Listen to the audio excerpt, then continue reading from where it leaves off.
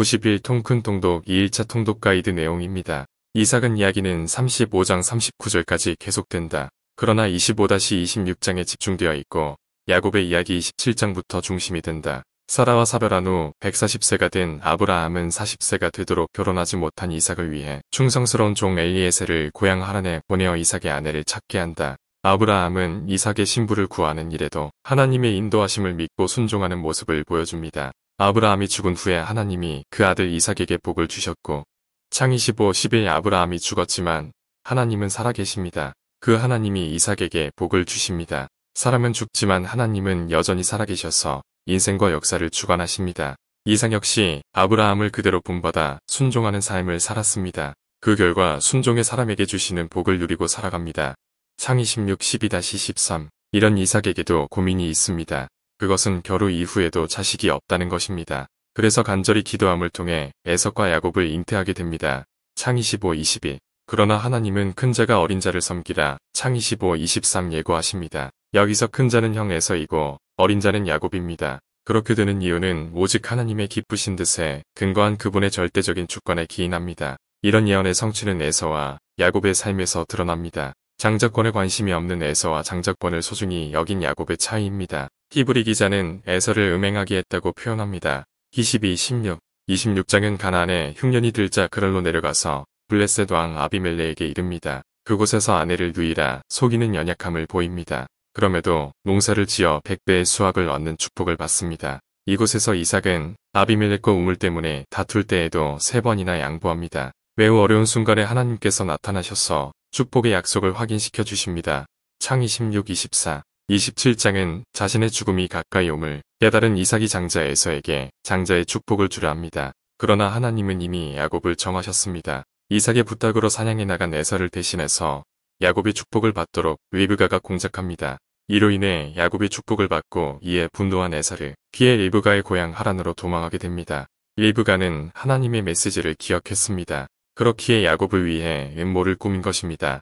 창 27시 그러나 인간적인 속임수보다 하나님의 뜻을 일깨워주면서 이삭을 진지하게 설득하는 편이 옳았을 것입니다. 28장은 이삭이 야곱을 불러 축복하고 바다 사람으로 보냅니다. 비록 에서의 낯을 피해 가는 과정이었지만 하나님께서 함께 하셨습니다. 그래서 잠을 자는 야곱에게 하나님께서 나타나십니다. 어디로 가든지 함께 하시고 도와주시겠다고 하십니다.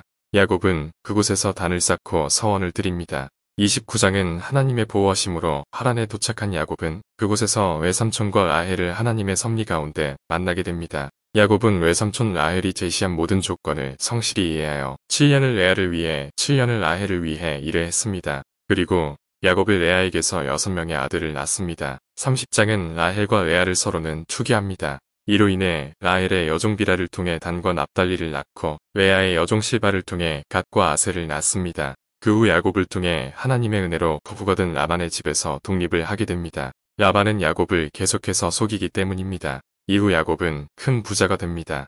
사실 얼룩무늬 새끼를 베게 하는 야곱의 개교는 불완전한 것이었습니다. 그럼에도 불구하고 언에게 신실하신 하나님은 베델 약속의 근거에서 야곱의 개교를 통해서 그에게 복을 내리신 것입니다. 31, 11-12 31장은 하나님의 은혜로 큰 부자가 된 야곱을 시기하는 라반의 아들들로부터 떠나 가나안으로 돌아가는 내용이 기록되어 있습니다. 라반 몰라 떠난 야곱은 곧 라반의 추격을 받습니다. 그러나 하나님 은혜로 화친 언약을 맺고 고향으로 떠나게 됩니다. 32장은 가나안을 향해 갈 때 하나님의 사자를 만나 씨름하는 장면이 나옵니다. 야곱에게 큰 고민은 에서입니다. 그를 위해 두 대를 나누고 예물을 준비했지만 두려움이 사라지지 않습니다. 일행을 보내고 홀로 남은 야곱이 그를 변화시키신 것입니다. 이때 야곱은 이스라엘이라는 새 이름을 받습니다. 33장은 야곱과 에서가 20년 만에 만나는 극적으로 만나게 됩니다. 그러나 하나님의 은혜로 두 형제를 서로 화해하게 됩니다. 에서를 떠난 야곱은 세겜에 이르러 장막을 치고 하나님을 모르는 희위족 속 앞에서 재단을 쌓습니다.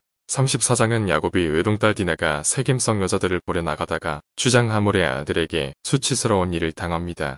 이후 결혼을 요청하자 야곱의 아들들이 세겜성 사람들의 할례를 조건으로 내걸게 됩니다. 그러나 이것은 세겜의 모든 남자를 죽이려는 계획이었습니다. 무자비한 살상 후 야곱은 가나안 부족의 보조를 두려워합니다. 35장은 세겜성의 일로 두려움에 처한 야곱에게 하나님께서 베델로 올라가라고 하십니다. 지금까지 자기중심적이던 야곱이 지난 날을 철저히 회개하고 단을 쌓으며 하나님의 이름을 다시 불렀습니다. 에브라스로 가는 중에 라헬이 죽고 열두 번째 아들 베냐민을 낳습니다. 에서의 생애와 후손에 관한 기록입니다. 에서의 아내는 아다 헷 족속, 오올리바마 히위 족속, 다스맛 이스마엘 족속이며 다섯 명의 아들을 낳습니다. 에서 아들들의 후손은 에돔 족속의 족장이 되었습니다. 이들은 세일산으로 옮겨 살았고 그곳에는 후리 족속이 있었으나 에돔인들에게 쫓겨나 에돔 족속에게 동화되었습니다.